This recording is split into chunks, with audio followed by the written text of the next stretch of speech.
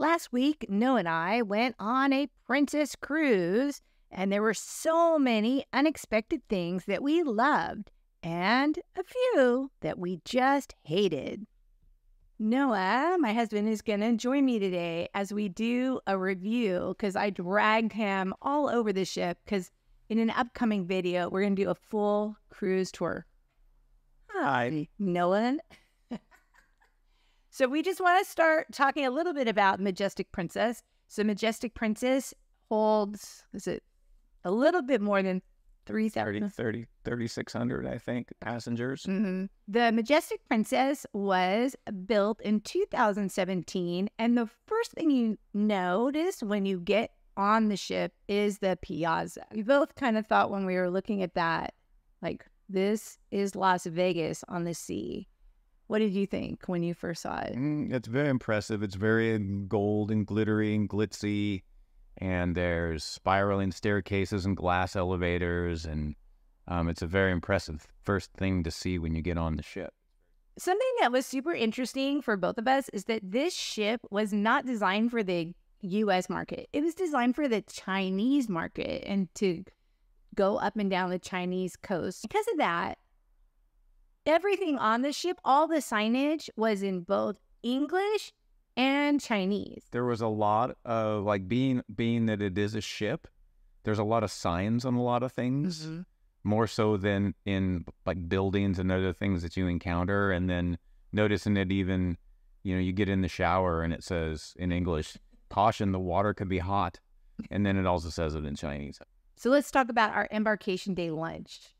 So we got on the ship and you go through the piazza and up, up, what is it? The Lido deck was level 16. So we went up to the Lido deck. The Lido deck is where the World Fresh Market is, which is the buffet on the ship. But then you go out to the pool deck and they have burgers and lop- it's called Burger and Lobster Grill. They also have chopsticks, which is a noodle bar which is unique to Majestic Princess, which is also because of the fact it was for the Chinese market. So we skipped the buffet the first day because of the crowds, and we chose to eat at the burger. Right, the burger place. The burger was good. I think, I think the fries were a little cool. It seems like maybe they they served up the fries into the basket while the burger was still cooking, and then by the time the burger was done cooking, the fries were a little cool. But if I think like what you found, if you if you order a side of fries, also, um, maybe they serve those up a little bit later when they're right before they bring it to your table, so the fries were still hot. And we, In addition to, so you could eat at the burger place when you first get on the ship. You might eat at Chopsticks, the noodle bar, which was delicious. You could eat at the World uh, Fresh Marketplace. You could eat in the main dining room. Or if you wanted, you could go to Alfredo's, which is their pizzeria. Now, Alfredo's is one of your casual dining. So if you got the Princess Plus package, you get two meals at Alfredo's. So you could go there as well. And it's a beautiful location. It's right off the piazza. You can see out to the ocean. So that would be a fun place to eat for the first day as well. Something I learned about Alfredo's. First of all, everything's a la carte. So the pizzas, I think, were $8. So you could order a pizza and just split it like an appetizer so you could try it. The three course meals were $14.99. Again, we could have split it. So then you would get to sit in this beautiful location and try try their food. Would you want to do that? yeah, I like pizza. Okay, so let's talk about the other dining, the complimentary dining. So you can eat at the World Fresh Market, which we did mostly for breakfast. What do you think of it for breakfast? I thought it was good. There was a wide variety of, you know, cold, simple breakfast things like cereals and yogurts and fruits. And then there was, um, you know, hot stuff too. You could get bacon and sausage and eggs and a lot of traditional things. They did have little quiches and They had a fresh omelet, so you could go have your fresh omelet made. So they, it was interesting the way they did it. You would go place your order, and then they would give you a ticket, and they'd say, "Come back in ten minutes." So the one thing I would say about the World Fresh Market is that I, so I think the first morning I ordered an omelet, and I thought I paid attention to where I was so I could go back and get it. But the way that the World Place Market is set up, it's the runs from port to Yeah, starboard. starboard. Just left to right. runs across the ship instead of the the long way. So as you walk the long way down, like where you're gonna sit, you're kind of peeking in these side rows where all of the food is, and it's easy to get confused because you can't you can't see a long line of all of the different things being prepared you kind of know where you're at. in the this is where you go get your waffles made though in the bakery so in the center there's the bakery and in the bakery they make a big delicious yummy top with whatever you want uh, uh, waffle so those are really good okay so then that's one thing you can eat that's complimentary the next thing is they have main diners they unlike other ships they have three main dining only two of them are open so we went to allegro and then we tried uh, concerto the food is the same. No matter what dining room, the menu's the same, the food's the same. It's just the atmosphere is a little bit different because they're decorated different. And of those two, I preferred concerto. On the app, you can have dine your way, it's called. So if you want to have a reservation the same time, same place every night, you can put that into the app. If you want to be able to try different places or do different times, you can do that in the app too. So it was super easy. I thought the app was super easy to use. You didn't really use it. I didn't I didn't use it too much, You didn't have to use it because I did everything, but that's okay. I like to do it. but I appreciate you did it.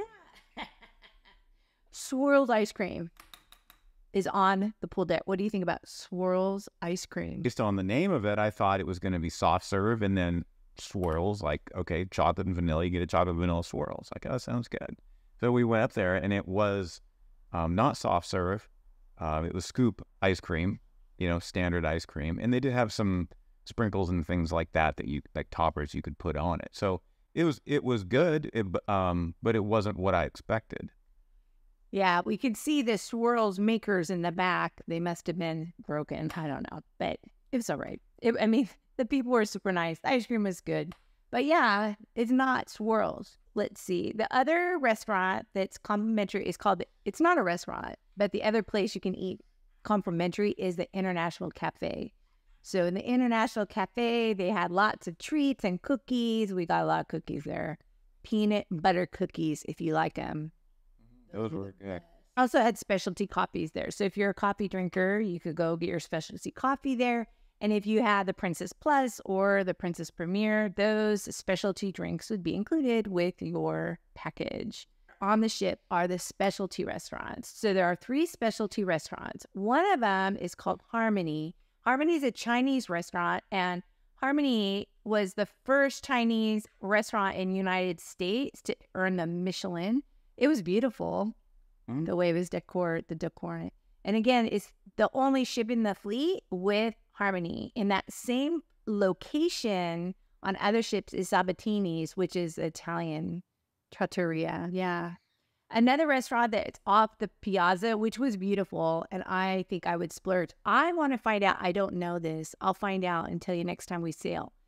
If you can split a specialty dining, the restaurant I really want to try is the Catch by Rudi's. One of my viewers said it was her favorite meal. You can also dine at Crown Grill, which is a traditional steakhouse that serves cook to order steaks. If you have not subscribed to my channel, why not? Every week, I'm going to bring you new fun stuff about cruising to make it easier for you. Please just hit that subscribe button. We're going to board the ship now in the video so we can share some of the dishes that we ordered in the main dining room. Yes, you're lying. But looks I'm good. going to start with the baked potato soup. And uh, for the main course will be the roast pork tenderloin medallions. Got the salmon gravlax. I have no idea what that is, but we'll find out if it tastes good. And a goat cheese vegetable mix. So here we have the braised short ribs. We have the pan-seared cod, and we have the tenderloin. We also got the goat cheese and leek quiche. So I don't know what this sauce is. I'm taking a huge bite.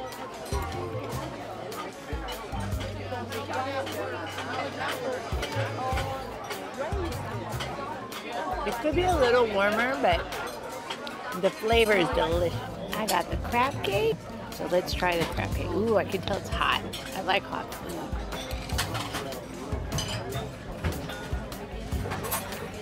That is good. The menus in the main dining room always had something that was delicious. In fact, we ordered two mains and two appetizers at every meal, and we always save room for dessert. Go ahead and keep talking about the ship now. Let's talk about the Lido deck and the pools.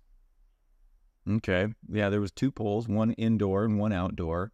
Well, wait, on the Lido deck, they had two pools. Remember? They had like a bigger lap pool, and then there was the fountain, Oh, the outdoor. and then there was yeah, Yeah. and then the round. So, so there was two main pool areas. Correct. Right. There was an indoor pool area and then the outdoor one, you're right. It did had a couple of different ones.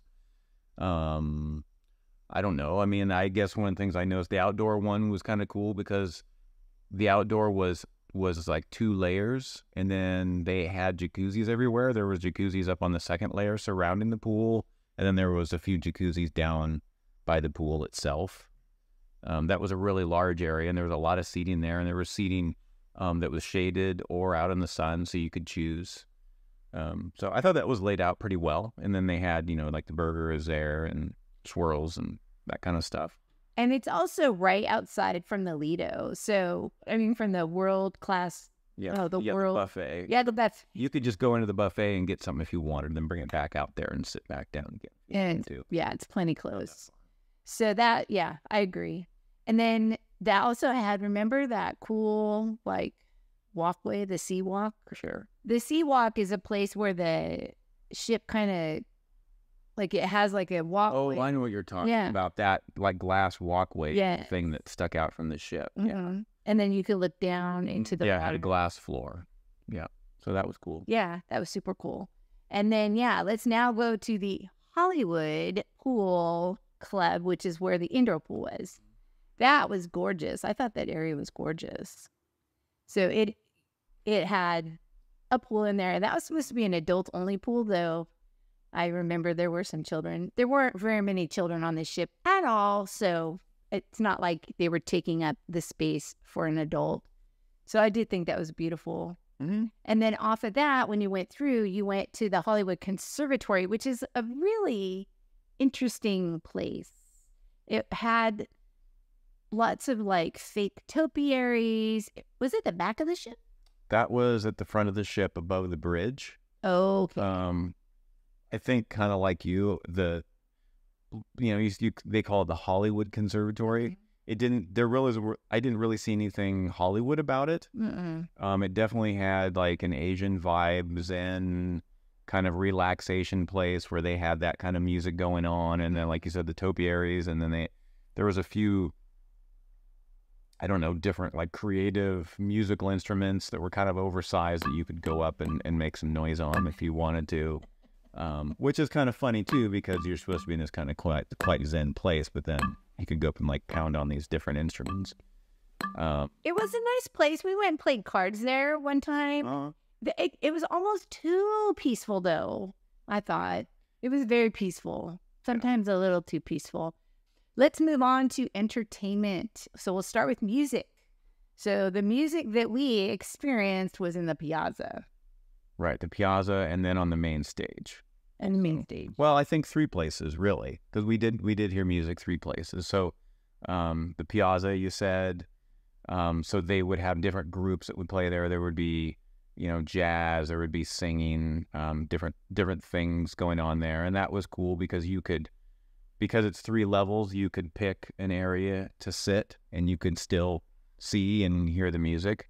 Um, and then being in that area, you're by that international cafe. You could go get a snack or something to drink, and so that was cool hanging out there. And then the um, they had you know music as part of the shows in the bow of the ship in the main theater. That was really well done. And then the other I think the other place we experienced music was in the uh, aft part of the ship. There was a, a lounge lounge. back there, and then um, there was a acoustic guitar uh, singer that performed back there that was really good. I'm like there is a lot to do. So entertainment wise, you had to pick and choose because if you here's an example. One night I had seen on YouTube that fountains by the pool was supposed to be super cool. So we had to choose though, either go see the fountains because it was at a certain time or go see a show. I wanted to see the fountains. I should have gone to the show. So you kind of just have to know what you are interested in. We both really enjoy the production shows, and those I thought were great Those were really well done. I agree. on the main stage. So we saw they had Encore, which was like a full musical. Mm-hmm. And then we also saw Uptown Boys, which was Oh, that was the what Billy Joel Mhm. tribute. Mhm. That was good. and there was a comedian one night. Yeah, so there was there was a lot of variety there, and then what was nice was that the shows weren't just like dancing and dancing only to recorded music, um, but it seemed like most of the shows everything was live. The music was live, the dancing, of course, and then um, there was also more like Broadway Mm-hmm. play musical types of things that we saw. So um, there was a lot of set design and things that you got to check out. So that was cool. One thing I would say is again, when we sailed, it wasn't a full ship and it got pretty full in there. So if I were going during, like, if I was going there to go to Alaska, I would get to the show a half an hour early to make sure I got a seat where I wanted it. Yeah, I think so too. Then other things we did, Deal or No Deal was in there. And then they had another area called Princess Live. And in Princess Live, they had a lot of fun, like games that were kind of like group games. It wasn't like there was one winner. It was more like you would team up with other people around you, like trivia. Right. Yeah, we did like uh, 80s trivia, uh, 80s music trivia. Um, and there was like we some good because we're from the 80s. You're not somebody into the production shows. Up on the Lido deck, they have movies under the stars. So back in 2005, Princess brought movies under the stars to their ships. So they have a huge, like, mega screen and they have movies going. So at night, you could go and they have the loungers covered and blankets, things like that. But we do have a kind of, I have a gripe. yeah, no, yeah, I, I we both experienced that, and we and we heard from other travelers too that they didn't really appreciate it. And, you know, that was all day long. running the movies during the day. Right. If you want to watch it at night, okay, I'm at a show. I don't care. But yeah, Right. Yeah. During the day, um, it was it was it was mainly because of the volume of the the movie playing. You know, it wasn't that they were showing a movie on the screen because you didn't have to watch it if you didn't want to, but it just the sound was piped everywhere on that deck and there were speakers everywhere and it was hard to get away from. it It was so loud. So we have two areas left. Service was amazing, I thought. Yeah, as well service was really amazing. Cabin. What do you think of the cabin? Cabin was comfortable. Um the the bed was good. I didn't wake up with a sore back or anything, so that's good. The Piazza area was amazing, and I can't imagine like that is the heart of the ship, and it was gorgeous. And you were always in. that- You, I mean, we are in that area every day. Yep. For part of the day, the food Food was good. I great. have no no complaints about the food at all. Entertainment Oh, thumbs up. That thumbs was up. that was It was fantastic. so good. We were busy. There was there was entertainment all the time. So the entertainment, thumbs up. The cabins were good, and the service was amazing. So I would definitely sail on Princess again. Me too. All right, Great time. good time. Happy sailing. Oh, and if you like this one, make sure you watch this video next. And if you haven't already liked and subscribed to my channel, please do so. Happy sailing.